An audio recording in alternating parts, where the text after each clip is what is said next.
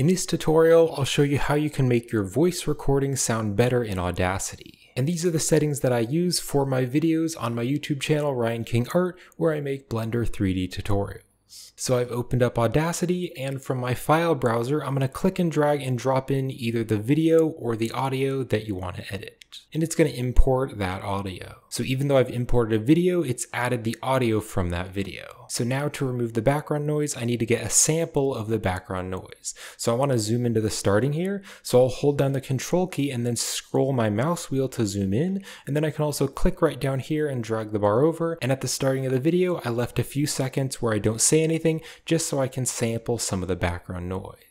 So what I'm going to do is click and drag on the audio just to select a small amount of it where I'm not talking and it's just the background noise. And if for some reason you can't click and drag to select the audio, make sure you click on this button here to use the selection tool. So I'm just going to select about a second of audio. Now I'm going to click here on effect and I'm going to go to noise removal and repair and I'm going to click on noise reduction and this is going to give us the noise settings. So the main setting that you want to play around with is this noise reduction right here. So if you turn this up to a higher number then it's going to remove more of the noise but if you turn it up too high then the audio might sound a bit weird. Or if you turn it down, if you turn it down too low then you still might be able to hear some of the audio. So I actually like the default of 16, I think that works pretty well for my audio but you might might need to play around with this and you might need to change this number depending on how loud or quiet your recording room is. So I'm now going to click on get noise profile so it's gotten the noise profile of that background noise.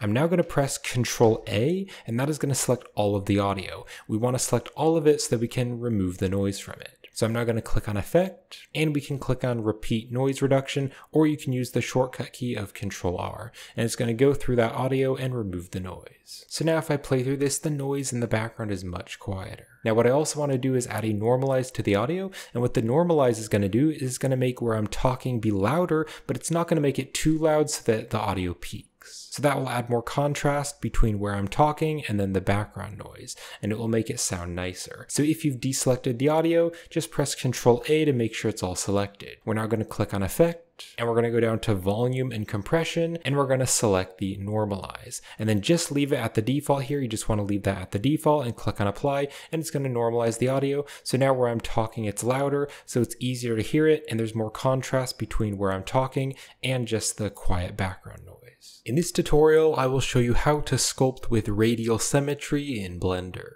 So we now want to export our audio, so we'll click on File, and then we'll click on Export Audio. And then I just want to save this to my computer, so I'll choose export to computer.